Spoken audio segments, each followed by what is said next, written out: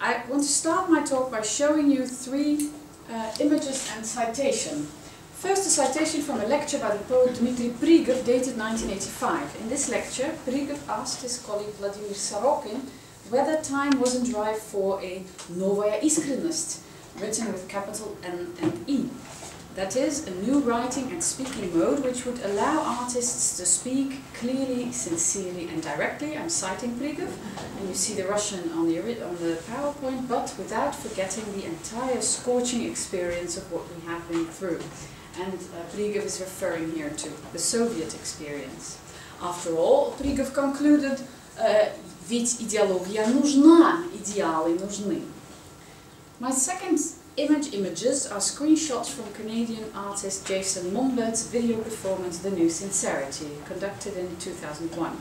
This is a short video, roughly five minutes, of a somewhat dreary party of beautiful, hipsterish, well-off and clearly bored young creative professionals. You can watch it online if you want it, it's fully accessible online.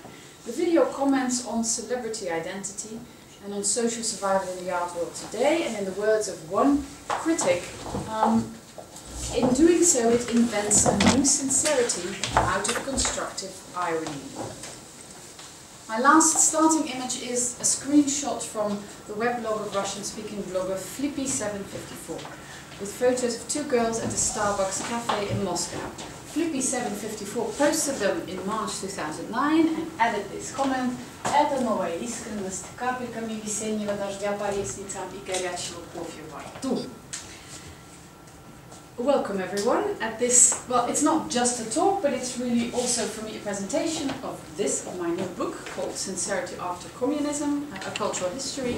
Um, I didn't bring books with me so there's no shop afterwards but I have some flyers so if you want there is like a semi-shop you can grab a flyer afterwards. It's a book that was published earlier this year by Yale University Press and I'm as uh, just as delighted as Olga that the Dutch Institute offered me the chance to tell you about it here. Tonight I squeeze this book's main argument into um, a little bit more than half an hour talk with pictures and to make sure that in that time I offer you more than a mere overview, I've chosen to zoom in on one chapter. But as you will see, um, I'm not going to talk about one case study, but I emphatically embed that chapter's findings in uh, a story about the book's overarching argument. Um, so I want to talk about this book. Sincerity After Communism traces a trend to frame cultural and social practices as markers of a new zeitgeist, one embodied in the slogan New Sincerity, or in Russian, Novaya Iskrennost. Now, before I give my take on this slogan, I'm quite keen on hearing what you think of it, because I know that many people have lots of thoughts about this phrase. So I wondered, would anyone here, you don't have to, but is anyone willing to tell me what you think that this phrase stands for? Можно на русском. Что такое новая искренность? But you still can use English, right? In order to be more sincere, we can use English, right? Uh, well, I don't know if it makes I- more I- sense. You yeah, can I- use both. Yeah, I, I would say that it's issue how to market sincerity, how to imitate it, how to create image that you're sincere. And I work as journalist, so this is what I do almost every day. And it's, That's a very interesting response. I will return to that. Maybe one more response. Yeah. a longing for something more, for something authentic because of the idea that we're drifting away from, from something true. Mm -hmm. So a response to, to something, Yeah. right? There- there- It's, it's dialectic. I'm going to return to that. Maybe one last response. No, I'm go- no, sorry, I'm sort of, I'm overdoing it. This is enough. Thank you very much. These are two very helpful responses. So new sincerity is a phrase that between the mid-1980s and today has been used by people from a variety of social, local and professional backgrounds to typify what you could call a novel philosophy of life. Um, and I clustered some examples on this slide. Uh, bloggers, curators, scholars, writers, philosophers, marketers, journalists, film reviewers, they use this phrase to typify um, uh, artworks, poems, films, political movements, cartoons, etc. And in doing so, they plea for reviving sincerity. And I'm citing one expert's definition of this term. So, sincerity, that's the assessment by addressees that the expression by addressers are true representations of their feelings and emotional state. So what this says, put less hermetically, is sincerity is the quality of remaining true to oneself. Promoters of a new sincerity, this is why I liked your answer very much, you sort of hint at that, they do not advertise sincerity as such. They adopt a dialectical take on the concept. The new sincerity is always a sincerity that comes after or responds to an existing condition. The postmodern condition, for instance, as in Prigov's case, recent shifts in politics, or our hyper-mediatized society. Monbut's new sincerity, for instance, so this video, um, responds to the ubiquity of audiovisual media in present-day life. More often than not, however, advocates of a new sincerity use this phrase to signal a move beyond postmodernism. So this notion postmodernism is very relevant to the discussion. Or rather, they say that it's a move beyond a set of features that they consider postmodern. Relativism, cynicism, a move away from grand narratives and ideologies. Those are some uh, features that people call postmodern and they say the new sincerity allows us to move beyond that. Some employ the phrase uh, densely theoretically. Prigov is a case in point. When he talks about new sincerity, he's talking about aesthetics and rhetoric. Others merely drop the phrase as a social identity or lifestyle marker. Well, the picture is tiny, but you'll remember this picture, I think. So this blog post that I showed you is a case in point. Here, the new sincerity is a sort of slogan for a lifestyle, or almost a fashion statement. So what I don't want to do, neither here nor in my book, is mold all of these different voices into one exhaustive theoretical model. My central question is not what exactly is the new sincerity. You're not going to find out tonight. There's not going to be one answer.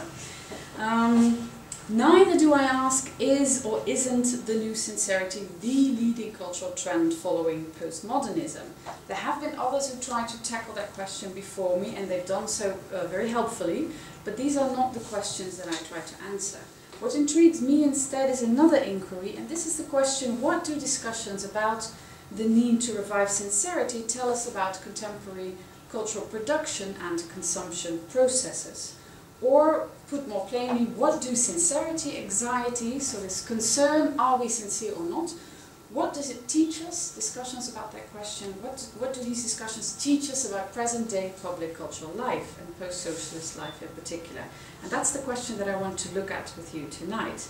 Um, and I'll, uh, I'll do so by first saying a few words in general about the book, then zooming in a bit on its three central chapters, and then zooming yet a little bit more on its second chapter. But first I want to zoom out and look at the broader discussions within which New Sincerity Discourse operates.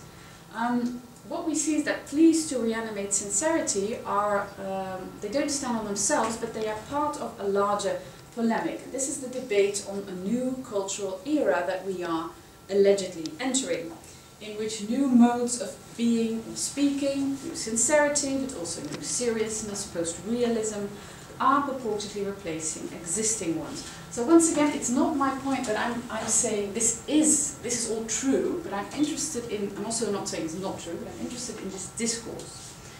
Um, within this hodgepodge of different tags for a new age, the discourse on a new sincerity has become a particularly resonant popular catchphrase. Over the course of the 2000s, internationally renowned media, the New York Times, the Zeit, the Moscow Times, all resorted to this phrase. And you see two examples here. In reviews like these of recent and social, uh, social and cultural developments, reviewers treat the new sincere turn as a self-evident given. Now, in my book, um, I show that one place where discussions on a new sincerity have been thriving with force is here, and here I don't mean you know, the Dutch Institute, but post-Soviet, post-Soviet Russia.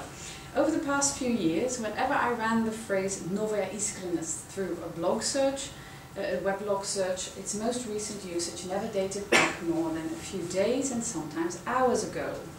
In 2008, anthropologist Alexei Yurchak considered a post-post-communist sincerity the prime aesthetic mode in contemporary Russian culture.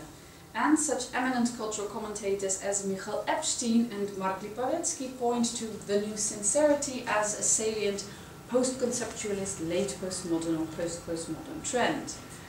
Now, as some of you will know well, this post-Soviet interest in sincerity rhetoric does not come out of the blue. Um, those of you who, who, know Russian literary history especially will know that sincerity concerns have a long and rich history there, and the term iskrennost, and that the term iskrennost acquired public buzzword status in the 1950s with this very famous essay Об искренности в литературе, by Vladimir Pomerantsev. This was an essay that paved the way for critical reflection on the Stalin era. I'm not sure to what extent this is extremely familiar to you, but I expect that some of you might not know this essay, so I decided to at least mention it.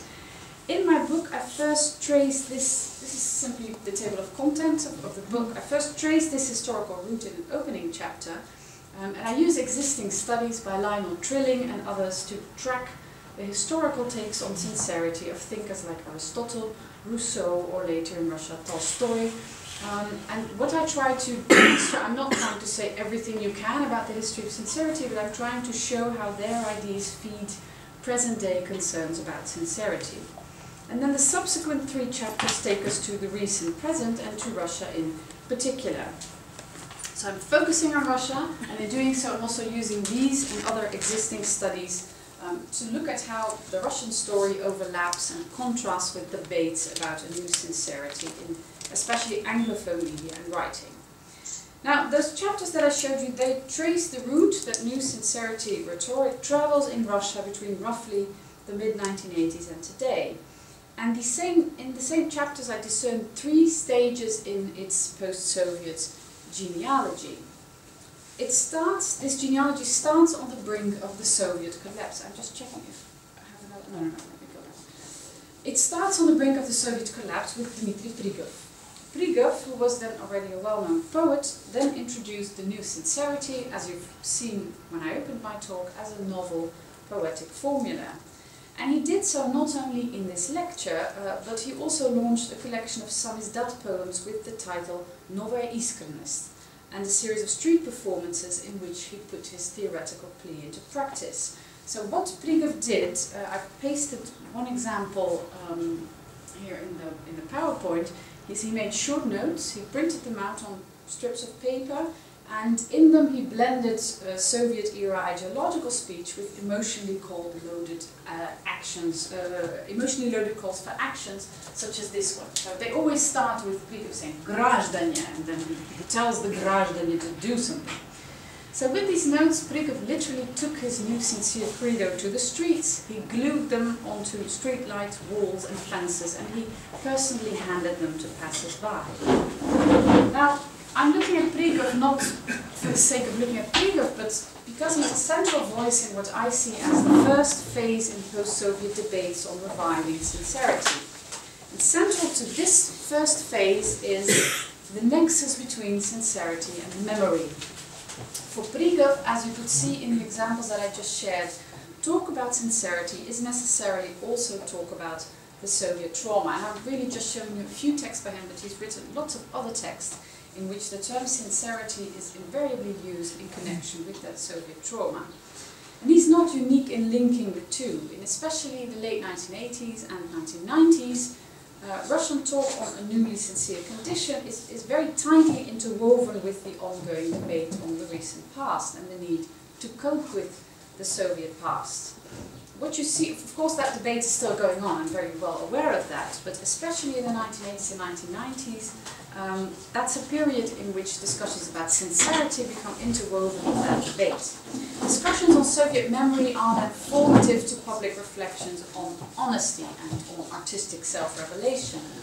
And I show in the book how they feed views on a reborn sincerity in writing by, for instance, Michael Epstein, Natalia Ivanova, but also in the visual arts by, uh, with this ex exhibition at New York's Apex Art Gallery in 2006 as prime example.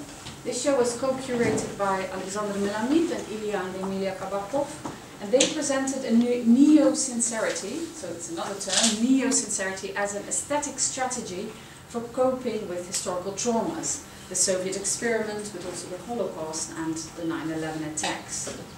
So what you see is that these and other leading voices in post-Soviet art and writing insist on what I call in the book a curative sincerity. And with that term curative sincerity, I refer to sincerity, so the, the, the ability to speak up uh, and, and to um, uh, sort of to have express feelings that match what you actually feel, as a near medical tool for dealing with a troubled social memory. So the question, what does it mean to be sincere, becomes caught up here with the need to deal with a troubled social memory.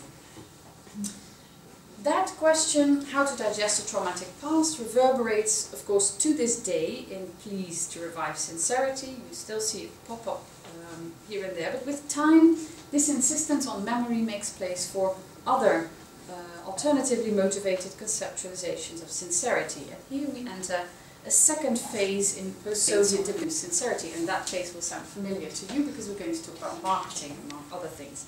In this phase, the central phase, uh, central question in the debate shifts from how to be sincere after the Soviet trauma to the question how to be sincere in a new economic reality, that of hardcore post-communist capitalism. Now, on this, this is the phase that I want to zoom in uh, a bit more in detail tonight, and I want to do so now by halting at a particularly fierce discussion on sincerity and commodification that around Vladimir Sorokin's Trilogia. So there's going to be some Sorokin. I don't know if you're Sorokin Lubitely or not, but we're going to have to bear with him for a moment now. I'm a so I don't mind. I presume that everyone here knows Sorokin, uh, and some of you may also know that until roughly the late, 19, late 1990s, his work was mainly read in the terms that dominate this study. Oh, I'm sorry, the pictures because of my words there. Uh, which is play, demythologization, deconstruction, metadiscursiviteit is the word in the title here. So those are the terms in which scholars started reading Sorokin's work. That situation uh, changes with the Trilogia, his set of three historical novels, uh, Ljod, Puig and uh, 23 ja, prawie скажу, 23,000, yeah, on a pseudo-gnostic sect whose representatives awaken new members by beating their chests with magic ice hammers. Mm-hmm. Starting from the first novel's publication in 2002, reactions to the trilogia exemplify what Dirk Uffelmann calls the topos of a new Sorokin. What you then see is that readers say, oh wait, the new Sorokin is releasing page turners at a best-selling publisher. And reviewers are saying, hey, the new Sorokin is exchanging language play for stories about, admittedly somewhat freaky, people of flesh and blood. And critics are saying, oh, the new Sorokin is reviving a familiar literary motif, that of being true to oneself. His new narrative, um, and, they were right, because his new narrative very persistently opposed outer body to inner soul and mind to heart. And it classically highlighted the latter, the soul, the heart, as good poles. It introduced sectarians who awakened and communicated with their hearts, who advocated the truth, so who in short promoted total sincerity. And the text highlights this concept when a prospective member's hesitation is called a defense from sincerity, zashita iskrenosti. So the trilogy in short foregrounded the language of the heart. In doing so it revolved around a motif that sat uneasily with the postmodern, or I should say Moscow conceptualist philosophy that shaped Sorokin's early work. And that is the motif of unmediated expression. The trilogy smacked of a career break, and Sorokin's public self-fashioning of the time reinforced that impression. In a famous open letter, he implored the trilogy readers to forget about deconstruction. In explaining its poetics, he employed a classical vocabulary of artistic sincerity to which terms like direct expression, tears and sincerity were formative. The novels were in the author's reading his first attempt at a direct utterance about our life, and literature and experience that can, okay, let me read the original, that вызовет у вас искренние слезы, солоноватый привкус, который вернет вам чувство реального. These and other auto-comments boast a sentimental rhetoric, and that rhetoric cannot be isolated from Sorokin's um, a shift in Sorokin's personal and professional um, uh, social uh, immersion in the years. Sarokin increasingly engaged with people from Russia's music scene in the late 1990s. I interviewed him in 2009 and he then explained, explained this change in poetics with a shift in his personal contacts from conceptualist circles to, I'm citing him, musicians and cinema and theatre people. He deemed, he told me that he thought the language of sincerity was especially fit for music, which does not need intermediaries. And, citing him again, in music должна быть какая-то сентиментальность, какая-то пронзительная чувственность. Indeed, Sorokin was at his most overtly sentimental when commenting his first opera libretto in 2005. Это никакая не деконструкция, he emphasized in interviews, никакой не постмодернизм. Она очень трогательная и у нормальных людей вызывает искренние и высокие чувства. Мне хотелось написать человеческую трогательную историю. Получается очень человеческая история. Думаю, будет пролито немало слез. Мне кажется, оно получилось довольно трогательное, как и опера в целом, и в конце вызывает слезы сочувствия. And my own favorite, я лично дважды прослезился. Moving, sincere, crying, in typifying his new work, Sorokin could not move further from the stereotypical view of the coolly analytical postmodernist. This personalizing move was not unique among conceptualists at the time, but Sorokin's shift towards the emotive personal sphere was particularly conspicuous. He started making multiple media appearances which foregrounded his private rather than professional life. Um, if you read early Sorokin interviews, you see that they tackle literary technical themes, but now he began mentioning and showing family members, these are his daughters, expressing political views and using tropes of honesty and openness. I mean it, that truly excites me. In 2009, he launched a blog in which he frequently debated with readers uh, his views on, say, politics or food. So these initiatives all bolstered the same message. Rather than the inscrutable early Sorokin, this was the real writer opening up to readers. So for my book, I studied this, you know, his media appearances, his comments on his work, and I also studied his visual self-presentation uh, in the 2000s, and there I noticed that the same message pervaded. His media appearances from that period onwards have been at times downright intimate. We are treated to glamorous photo sessions in domestic settings and occasionally we catch glimpses of his naked chest and legs uh, and to online videos in which he leisurely enjoyed vodkas uh, or good food illustratively, this this is really a key uh, example from the audiovisual sphere. Now, has anyone here ever accidentally seen this video? Yeah, I, I did. Okay, you did, you did, yeah. So it's a video, you may remember that, which revives the classic trope of the grand writer opening up to his audience. Viewers see Sorokin, you can see that on these screenshots, dressed in white, in his birch-filled garden and wooden study, portrait of Tolstoy at hand. That's a small Tolstoy portrait that he's holding there. He firmly criticizes city life and current politics, and he occasionally employs, again, outright sentimental rhetoric. He says, I simply love to wander through the forest and touch the trees with my hands. So we see, in short, in this video, a writer with capital W. Um, admittedly, you may remember this too, if you've seen it, the makers revisit this trope with some irony. The, the video has the somewhat, well, the series in which it appeared has the somewhat corny title, outstanding and even very outstanding representatives of the scanty Masters of Culture tribe, so there's some irony on that trope here. And at one point, I don't know if you've seen it or missed it, but Sorokin's dogs are shown copulating, uh, so uh, having sexual intercourse. But the classical Grand Russian writer motif does resonate with force throughout the clip. In fact, as I explain in the book, together the comments and images in this clip, and I'm being very short about this here, but I'm saying a bit more about it in the book, tangibly evoke Ilya Repin's uh, famous portrait of Tolstoy.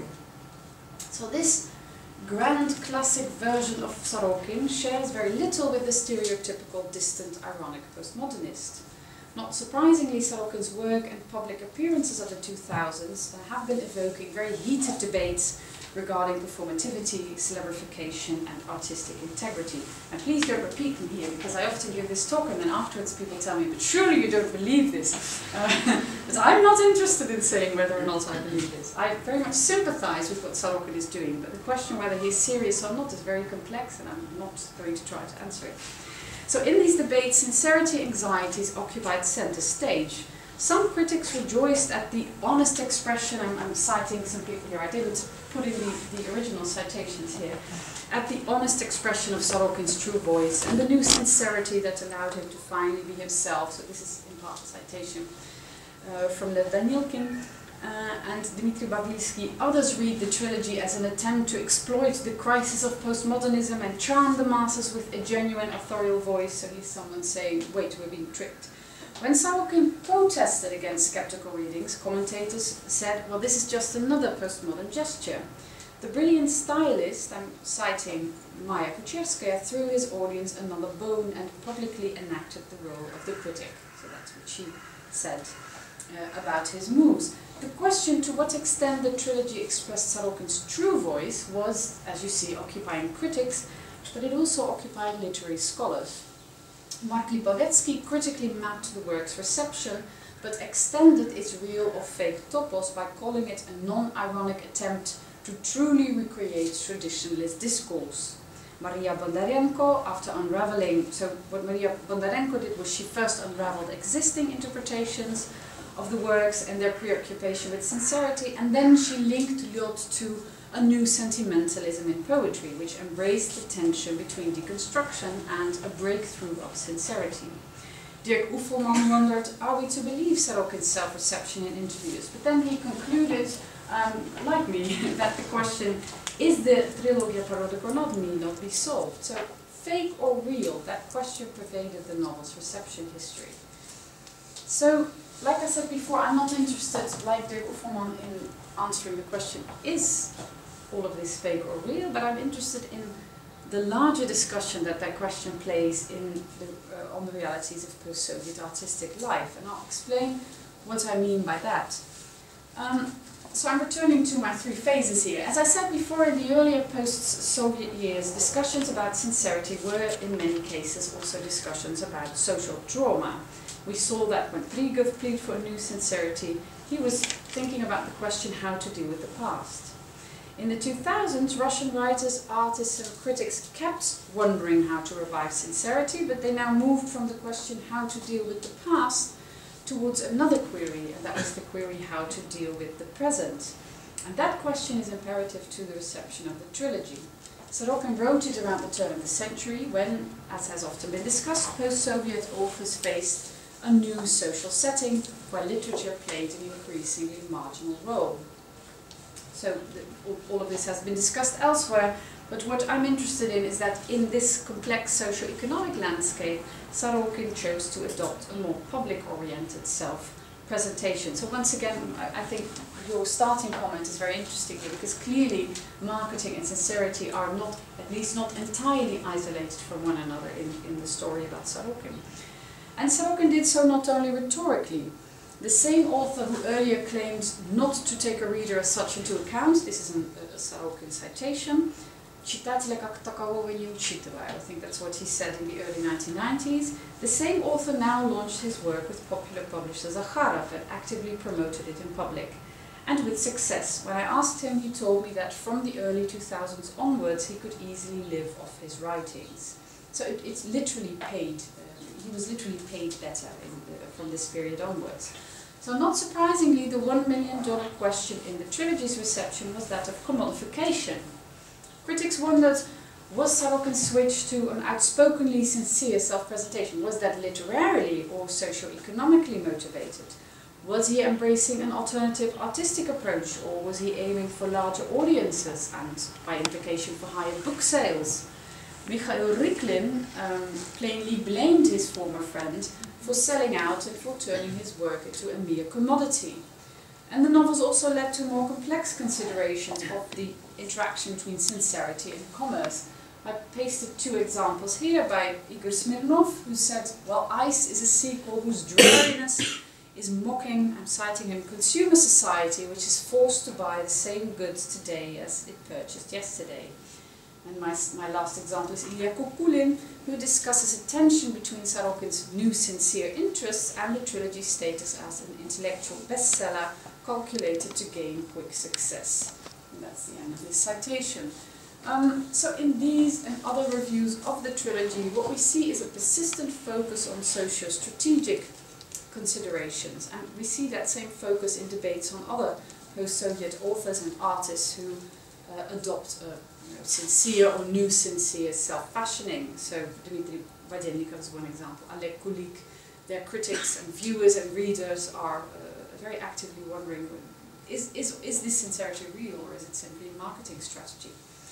Um, so what I try to show in the book is that these questions are not new, but that they follow a long-standing tradition. Here you see a book by literary historian Susan Rosenbaum, who says there is, I'm just going to read from the PowerPoint, we can see a culture of sensibility extending from roughly the mid-18th and 18th century to the present, in which the practice of writing for a literary marketplace generates a recurrent anxiety about whether authors can be trusted, resulting in a paradoxical desire for and deep skepticism of sincerity's rhetorical forms.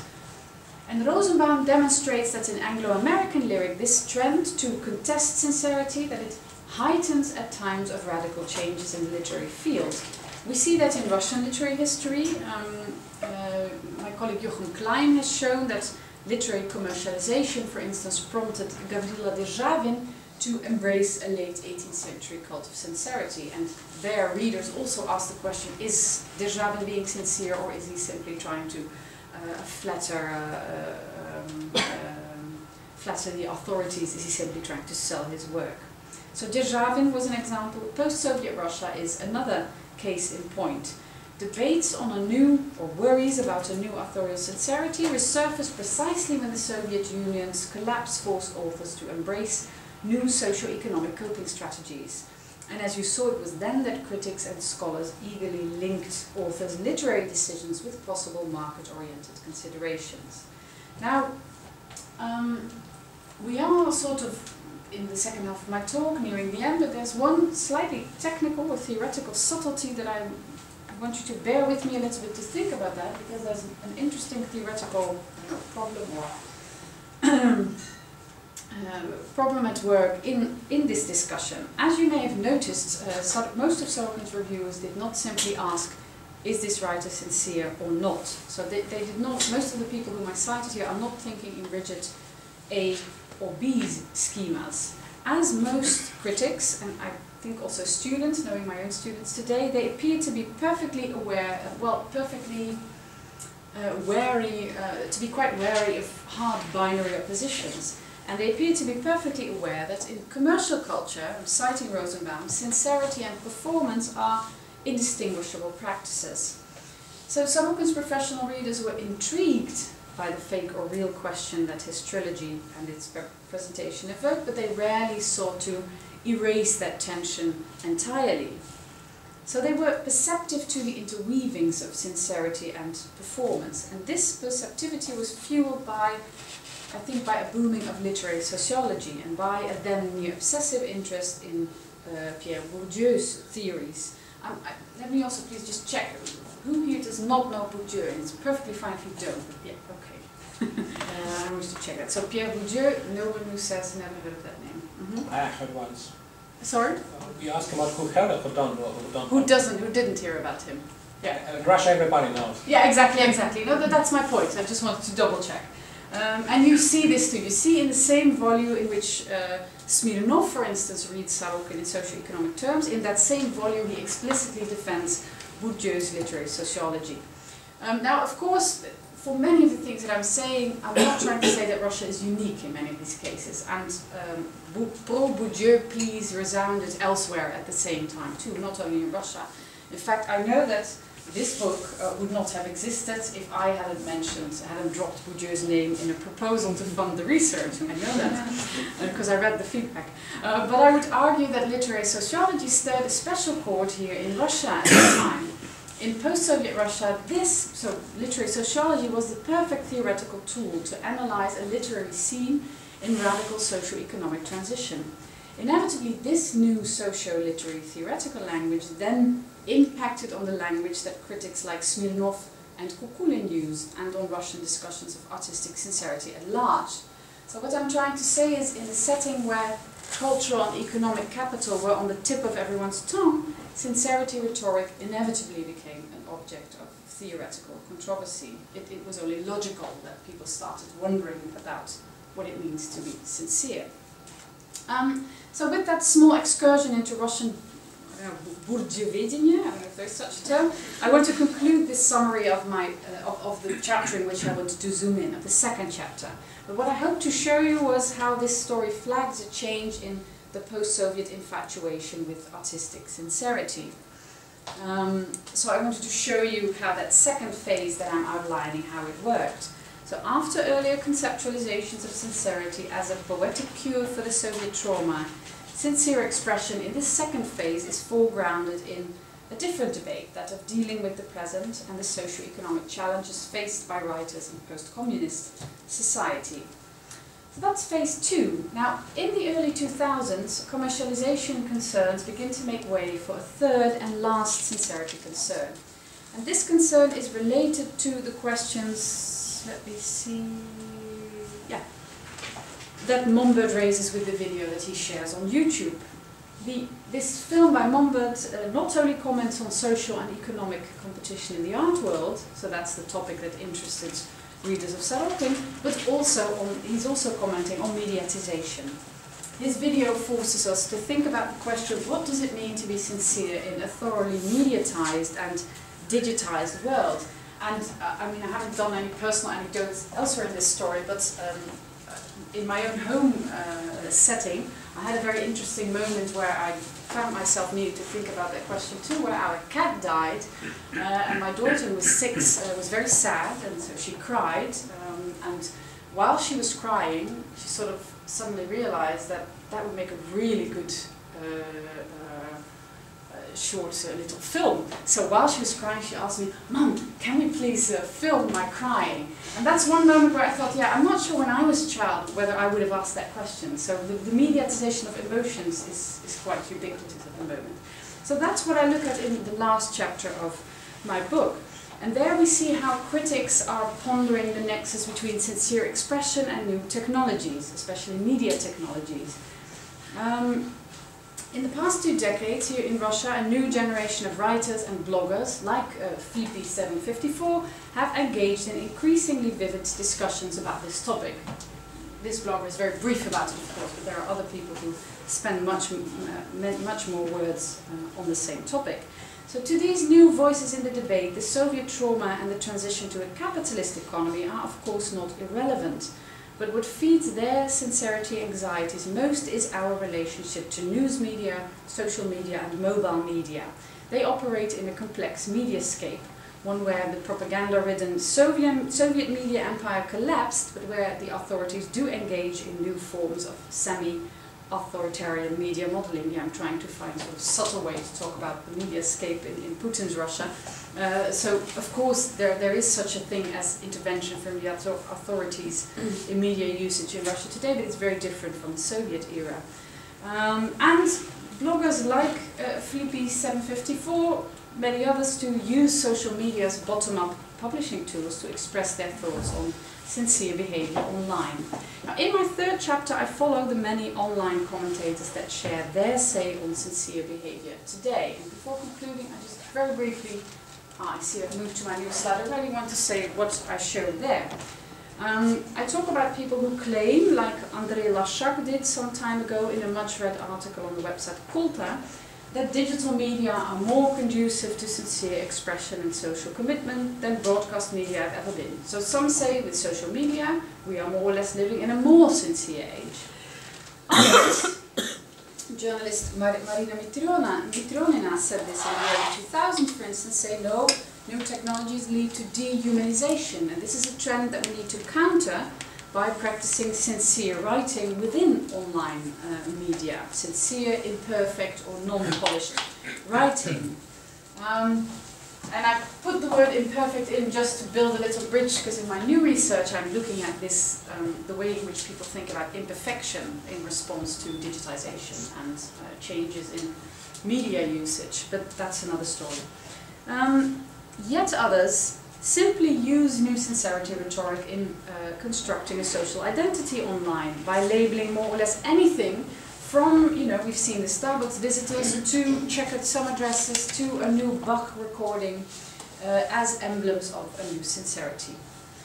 So in my last chapter I've tried to track these online voices um, and I've tried to do more than simply describe what they do. In that last chapter uh, I'm also pointing a somewhat angry finger at colleagues from especially the US and the UK, I'm trying to plead for more transcultural sensitivity in the transnational academic debate on new reality, new media, reality and honesty. What you see is that scholars like Neil Gabler, uh, Nancy Baym, who are all based in the UK and the US, they've done much to help us understand how you know, media work in today's society. But when they do that, they always write analysis that claim that they have universal legitimacy, but they focus on exclusively Western examples. And in my last chapter, I'm trying to also reach out to scholars like them and to say, well, if you look at the picture, the Russian picture, the post-Soviet picture, then your findings are being complicated. Um, what you see, for instance, is that uh, Nancy Baym uh, talks about mediatization and authenticity. She says, well, uh, in, in the age of new media, people are searching for a new authenticity that they've lost. But I think that we see what we see in Russian discussion, and I'd be very interested also in hearing your thoughts about this.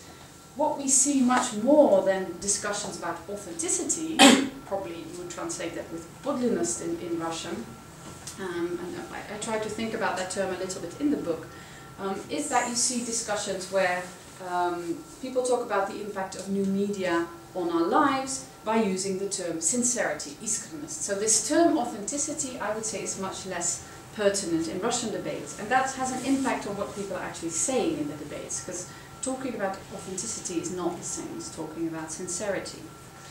So those were a few words on my last chapter um, and on the last uh, phase that I discussed in the book, and I want to conclude my talk with, with that last phase um, and with a few words on, um, well, as a sort of as a sort of PS. The only thing that I want to say is that in the past months I've been expanding my work on the book by linking my findings to politics, to recent political developments. So, so that's there's much less of that in the book, although there is some some politics there, but. Um, I've been expanding that in, in, this blog post and also in an upcoming article in the next issue of Neprikosnovenny Zapas. I'll have a, a, Russian article on this topic.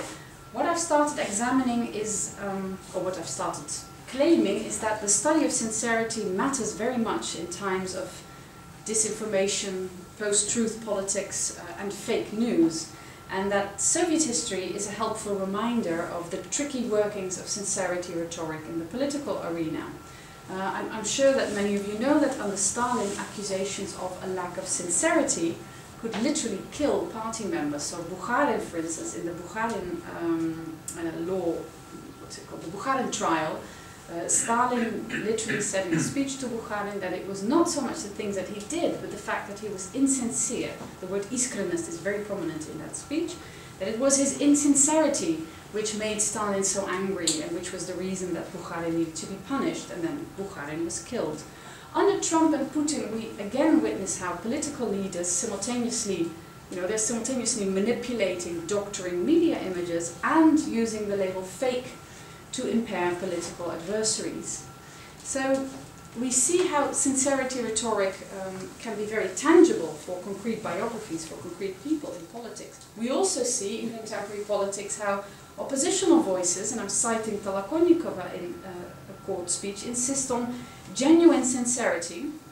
I think the term she uses is настоящая искренность as the political tool that the authorities fear most. So uh, Tolokonnikova said in her court speech, it's our it's the, the, the, the, real sincerity of Pussy Riot that, that's so scary to the Russian authorities.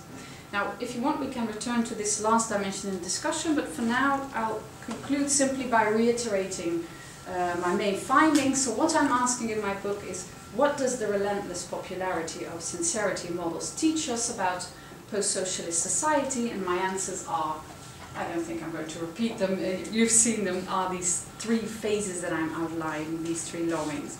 And um, uh, I would also argue that the, this story that I've been sketching here is of course ongoing. The book is finished, but the story goes on. The new sincerity, I don't think that it has morphed into the new cultural mainstream that some uh, believed it to be earlier. But dreams of reviving sincerity are still very alive today. And I want to conclude um, on that note. Thanks. And your questions are very welcome.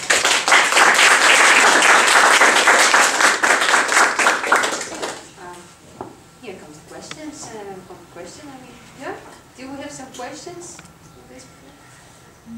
Well, or maybe suggestions. Yes, I, I yeah, ideas. Uh, yeah. yeah. As far as we're talking about, um, so first of all, thank you so much. And as far as we're talking about these very delicate issues, Can you open some secrets about your own discourse in terms of sincerity, taboo? I'm, I'm, I'm, Yeah, I'm talking what do you not so much about your personal life, but Okay. and as well also. Okay. Academic- we all know that academic establishment has certain rules, at least some concepts in Russia that you, you also have it. So could you open and reveal the secrets, what you're allowed and not allowed to say in the democratic Western? Oh, okay. Um, I'm trying to understand precisely what you mean. So you're not trying to say how do I deal, for instance, with media and sincerity? No, no, what I would like to know more is, do you feel any limitations uh, in order to say something if you belong to a certain environment, a certain milieu, Well, which you definitely do? Yeah, in the very recent past, I think especially with populism in, in uh, Western Europe, um, there's a big discussion going on in the Netherlands today. I'm, I'm not sure whether that's linked literally to new sincerity, but it's certainly li- uh, related to the question, do you say what you really mean in, in social media especially? I did notice that um, when you talk about um, well, for instance, when you talk about Russia, when I talk about Russia in my work, uh, there is a relatively large group of people right now. I'm, luckily, I'm sort of, they're not really targeting me that much. They did it once on Twitter. Um, but they think that all academics in the humanities are leftist and therefore they hate Putin and therefore all universities are, um, I don't know, bolwerk is the Dutch word, I don't know how to say it in Russian, but uh, universities are these sort of, you know, uh, breeding grounds of anti-Russian sentiments. And the funny thing is that in my work, I'm constantly asking for more nuance about Putin too and about Russia. Not because I'm pro Putin, but just because the, Dutch media are horrible about Russia and very stereo stereotypical. Uh, but once I wrote something where they could say, ah, look, there's a leftist academic doing this. And I certainly noticed that I'm careful in what I say on Twitter. But I'm not sure if that's what you meant. Yeah, it's sort of. It's also very interesting. I don't know how, how much you're really aware of that, but in fact, almost all Russian, uh, as you call, like wild capitalistic uh, thinkers and think tanks, they all former communists. Mm-hmm. So in fact, it's incredibly Okay, interesting. Then you mentioned yeah. all that people who immigrated from Russia and who former war pioneers, whatever, and how they changed their rhetoric in a couple of years. Yeah. This is something very deep about trauma. Mm-hmm. So basically, then foreigners, or let's say Westerners, they talk about trauma. They talk about trauma in kind of huge conceptualized Mhm. sense. But in fact, it's mostly about very certain traumatized people No, I'm very who really, yeah, who really yeah. mostly they associate themselves with the opposite side. Yeah. And a couple of. So yeah, I in- noticed in- in, in yeah. discussions, for instance, about the conflict in Ukraine, that there were many people, um, um, these were indeed not theoretical discussions, uh, but just plain responses by newspaper readers, uh, that people were very worried about what the authorities were telling them, uh, also pro-Kremlin journalists, but also politicians, because th- they would say you know, that these people are simply being, they're even being honest about the fact that they're lying. Uh, and that's very traumatic in a very untheoretical way. Yeah. Any more questions? Yeah. Thank you very much. I would like to ask you, um, after your research, how do you think, uh, we are with Dutch people or Russian people more sincerity? Yeah. well, in this article in Neprikosnovenny Zapas, I'm quite uh, um, uh, direct about that. Uh, I don't believe in Russian souls or in Russians being more sincere than others. I think there is a difference in how eagerly people use the term sincerity, and I think especially after Pomerantsev and this essay Ob iskrennosti Literature, but, but also already in the 19th century in discussions about Russia versus the West, mm -hmm. um, that term Iskrennost uh, somehow pops up very often in, in uh, Russian talk about social identity. So the term is very popular. Uh, um, and I don't think either Russians or Dutch, some Dutch people are horribly insincere and some Russian people are horribly insincere and some are wonderfully sincere in both countries. Thank you. Yeah, thank you for the question. Why have you chosen this theme? Yeah, yeah, yeah. Um, I, uh, when I uh, wrote my first book, which was about political gender metaphors, uh, I stumbled upon poems by Timur Kibirov. Uh, I was then simply interested in his poems about Russia, and then I was I started reading things about Kibirov, and I started reading Epstein's uh, thoughts on how Kibirov would exemplify new sincerity. Uh, and at first, I was simply very moved when I read that. I thought, oh, that you know, first I started reading Sorokin, that was even earlier, and then I was very moved by Sorokin. I thought, oh, that's really a very interesting way, a very beautiful way of dealing with the Soviet trauma. And then I started reading Epstein, and I thought, oh, but that's a beautiful next step. So then I was very enthusiastic, and then I thought, ah, but enthusiasm is always bad as food for theory, so I decided to drop it. Uh, but then I kept on tracking usage of that phrase new sincerity, and I'm critical, and with, started looking at this whole debate with more distance, and then I thought, no, I want to, I want to know more about this, so I want to understand what it means. I guess also in my own life, I'm also worried about whether I'm sincere or not, and I guess I'm worried about that in a different way than my grandmother would be, because I live in a different society where you always have to pitch yourself, you have to do this as a journalist, I have to constantly do this as an academic. Uh, media are, like I said, very important, so I'm searching for the right way to use social media and let's be sincere. So I guess these were things that personally intrigued me, but when I noticed that I could drop my enthusiasm, I decided that I could write about this. yeah. And there will be also a Russian translation of the book, right? Yes, I just told you, yes, I'm going to uh, talk to the publisher tonight. Yeah. I'm going to talk to them. So there should be a Russian translation. We I, talked about I it have also a very short question, if it's possible. Uh, you mentioned Britain, uh, and uh, you mentioned also British uh, mediascape. yeah. And I was really impressed because not so long time ago, I guess about two months, The Guardian mentioned that they're in crisis and they don't have any more money or supporters, whatever. So could you a little bit describe as you see uh, the situation with uh, paper and digital media in general in the Western world? Because something is going on Mm. and it's probably, Yeah, there's a lot going on, but I, doesn't look very good, uh, honestly yeah, speaking. I, I can So- share my thoughts, but they Yeah. will be my own, you know, um, informal thoughts. But I'm, I'm, I'm not really studying that situation as a whole. Um, I do know that the whole transition to uh, digital media, um, I guess. Well, the one thing that I can say about it that's also relevant to, to the book is that the, the, the competition between print and social media does mean that journalists, like you say, very much have to pitch their stories and very much have to make sure that readers actually want to read what they write. And therefore what we call, I guess, what is the English word, human resource journalism. So journalism with human stories, uh, you know, sincerely uh, authentic Russian people in Siberia, for instance, uh, uh, they sell well, and therefore journalists are sort of forced to think about how, how their journalism can be sincere. I don't know if that's the right term. Um, I, I do see that, but I guess that's as far as I would go, because there's so much more to say about this topic, um, which sort of falls beyond my expertise. Mm. Uh, your theme is uh, sincerity after communism, but you speak only about uh, Russia.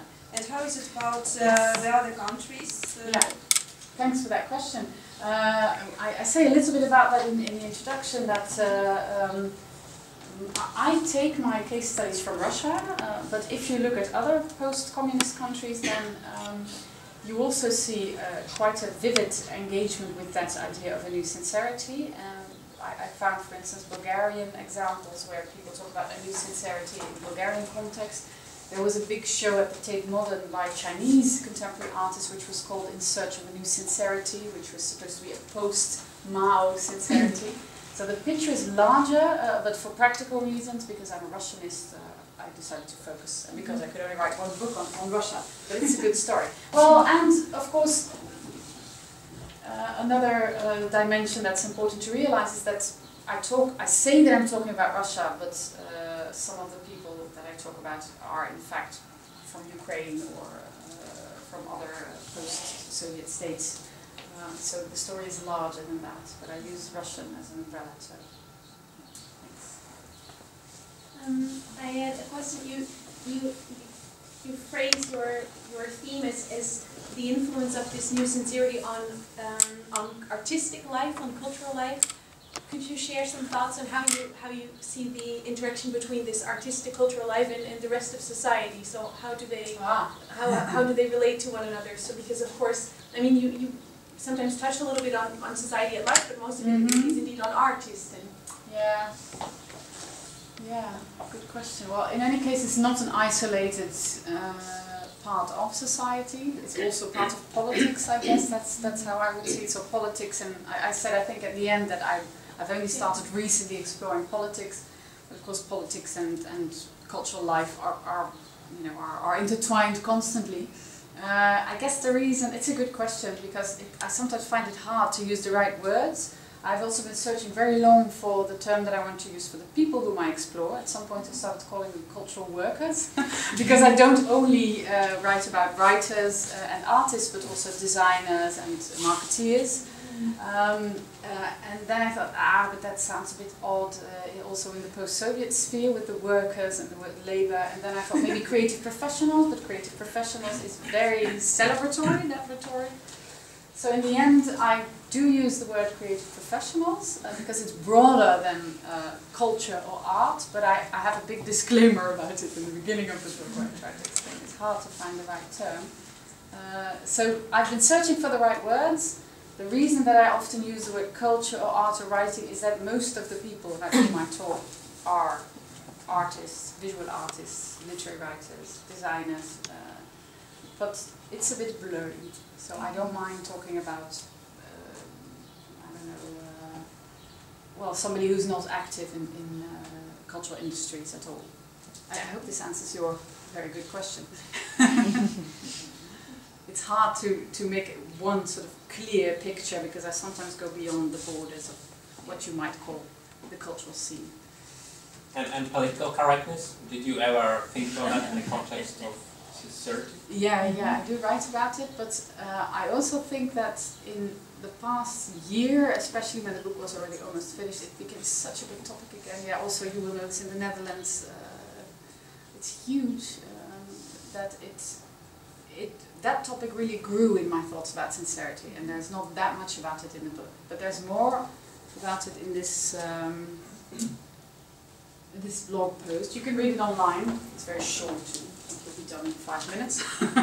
um, but I've started thinking about it here, and in the Neprikosnovenny Zapas uh, article, I say a little bit about it too. I don't use the term political correctness though. I think there could be, there's more to say about it than I do. Questions? Yeah, maybe if I can just very briefly ask you a question, and that's uh, a collective question. If there's anyone who disagrees with me that in this Russian, um, that Russian bloggers are more likely to use the term iskrennost than uh, Russian alternatives for the word authenticity, I'm very happy to hear, because that's an idea that I've tried to test before, but I'm always happy to hear if you think no. There's, there's a translation for that word that you just don't know about, and people I use think it. it really depends on the context. You can't really say that well is used isn't for authenticity. Of course, yeah. It's Yeah. uh, academic discourse or something, authenticity is more likely to be used. And how would you translate authentičnost? Authenticity Yeah, yeah. So this is why then that sort of confirms my point because I'm looking to a large extent at popular uh, references to the term uh, Novaya Iskrennost and uh, relatively higher educated bloggers. Well, relatively, no, I don't mean relatively higher educated, but higher educated bloggers who are not super immersed in uh, uh, critical theory do use the term Novaya Iskrennost, but they wouldn't use Novaya Authentičnost because it's too jargonistic. But of course, in academic debate, yes. And Novaya Podlinnost also somehow seems to have maybe too much of a legal connotation. I'm not sure if You, that's you the can invent a new term. No, no, no, no, We're all searching for it. That's the last thing I already threw. It's not legal, it's just too literal. Maybe also, yeah, too literal probably. Yeah, about authentic handwriting or, well, yeah. We also have a kind of a conflict between uh, you know loan words and uh, Russian terms. Sometimes you can see someone use a word that sounds really strange in Russian just because they're not used to reading in English. Yeah. yeah. Which is why authentičnost is. Thanks. Um, the question, well, sorry, formulating. Uh, do you find uh, the equality between the new sincerity and the new Russian identity? Hmm. That's- hmm Do you mean, could you speak of a new Russian social identity? Also Yes. top down, you mean? Like maybe Putinist identity and the new sincerity? Yes. Well, there are people who say there, there is such a link. Uh, um, uh, what's his name? Dmitry Golynko, the, the poet. Uh, he, he certainly uh, sees such a link. And I also remember that either Levin Steen or Galewski uh, talked to me about this and said, you know, uh, they were very bitter about it too. They said, gosh, we started talking about sincerity, but it's more or less stolen by the authorities. Uh, and uh, I even believe there are, um, there have been also some politicians who've been using that phrase new sincerity in, in very um, unsettling contexts. So they sort of borrow that language. So, so there is there is a link. Yeah. Ellen, thank you very much. It's very Thank you, and thank you hear for- also your ideas and findings and uh,